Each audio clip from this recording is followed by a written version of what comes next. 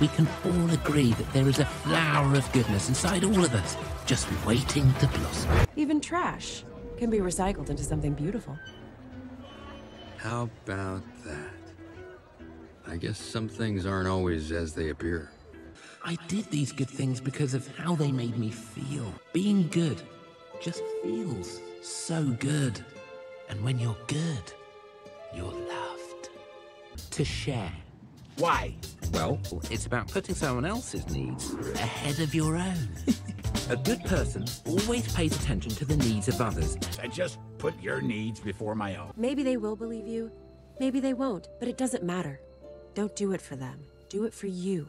This is a chance to write your own story, to find a better life for you and your friends. I hope you like my channel. Please subscribe and don't miss out on new videos. This channel is your channel and you decide what we produce.